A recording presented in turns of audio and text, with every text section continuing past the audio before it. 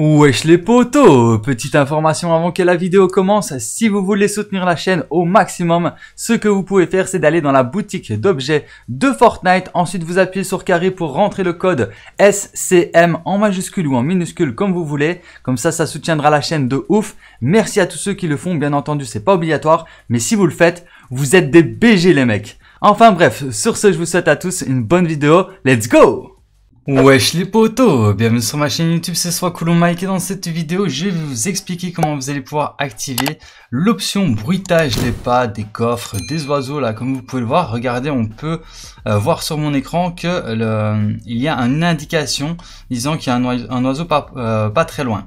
Donc là regardez je vais m'approcher d'un coffre, hop, le coffre apparaît et m'indique où est-ce qu'il se trouve. Donc donc ce qui est bien, c'est que ça fonctionne aussi avec les pas des adversaires. Donc regardez, je vais, je vais faire apparaître un adversaire ici. Hop, je me cache ici. Et là, je sais qu'il y a un adversaire qui se trouve derrière le mur. Je vois exactement par où il passe. Euh, donc même si j'ai un mauvais son dans le casque, je vois exactement où il se dirige. Donc c'est plutôt pratique. Donc c'est euh, un paramètre que beaucoup de personnes m'ont demandé euh, lors de de mes vidéos. Il me demandait comment ça se fait que je voyais les coffres euh, s'afficher sur mon écran et que je voyais les pas des adversaires. Bah, c'est tout simplement une option que vous pouvez activer. Donc c'est pas un glitch, hein, c'est quelque chose d'utile, c'est une astuce. Hein. Donc euh, les grands joueurs vont dire que c'est de la merde parce que c'est pas bien de l'utiliser.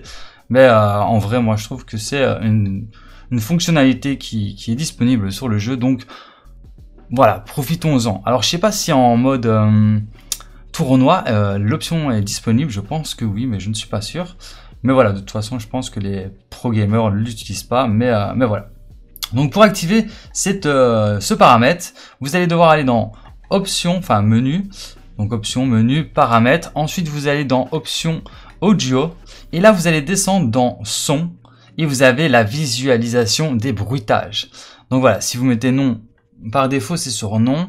Et si vous mettez oui, ben là, vous verrez la visualisation des bruitages. Donc, vous verrez tous les coffres, les corbeaux, les loups, les requins, les adversaires, euh, même les, euh, les machines à glaçons, vous verrez absolument tout ce qui fait du bruit.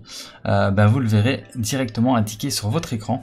Donc vous savez exactement où ça se trouve, enfin approximativement où ça se trouve. Donc c'est une grosse aide que moi je vous conseille si, euh, si voilà vous êtes débutant ou même si vous êtes un joueur un peu plus expérimenté. Ben pourquoi pas se servir des outils que Fortnite nous offre. Donc voilà, je pense que je vous ai tout dit à propos de cette petite vidéo d'information. J'espère qu'elle vous aura été utile et qu'elle vous aura plu. Si c'est le cas, bah, n'hésitez pas à liker, à partager et à vous abonner si ce n'est pas encore déjà fait. Et sur ce, bah, moi je vous dis à très bientôt pour plus de vidéos. C'était Mec et ciao. Peace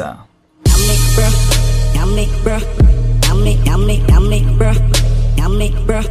Yummy, bruh. Yummy.